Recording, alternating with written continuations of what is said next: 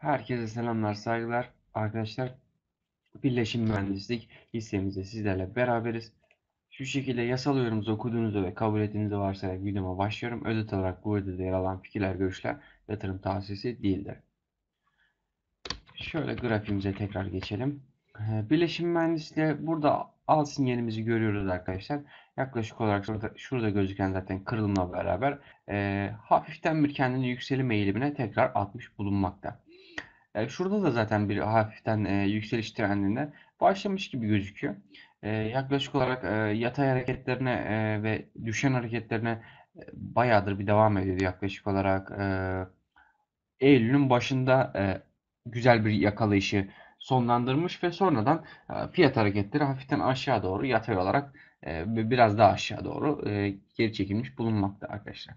Neyse biz onları geçelim. En son e, al sinyaliyle beraber e, gelen beraber e, destek ve direnç noktalarımıza bakalım. Şu anlık hala sıfırın yukarısında ve güzel yükselişine devam etmekte arkadaşlar. Demiştik zaten dirençlerin tepkisi olarak biraz hafiften aşağı dalgalanmaları olacağını arkadaşlar. Şimdi en önemli direncimiz ise yaklaşık olarak 44.86 ve 44.18'den geçmekte.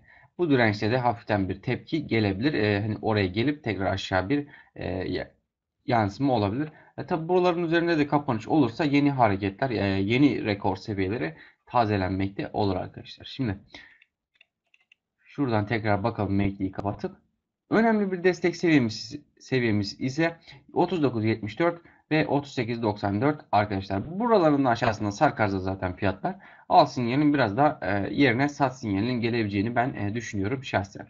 E, bu şekilde videoyu beğenmeyi kanala abone olmayı unutmayın. Hoşçakalın.